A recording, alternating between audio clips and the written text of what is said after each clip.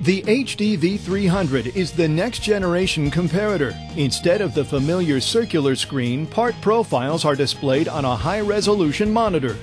More than simply the part display, the monitor is actually a touchscreen PC and system control. The display is not the only difference. Gone also are overlays. Instead, the part video image can be compared directly to its source DXF file. The subjectivity and operator-to-operator variation of conventional overlays is replaced by the actual design file. Updates are easy, changeovers are fast, and inspection repeatability is absolute. Different systems doing the same job inspect to exactly the same standard. Accuracy and throughput for optical inspection is raised to a whole new level. A DXF crosshair tool is available for manual crosshair generation. This can be translated or rotated for simple part measurement in the field of view.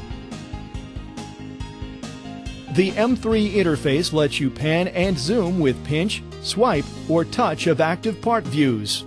With a finger path on a touchscreen, you can capture edge data and determine feature measurements.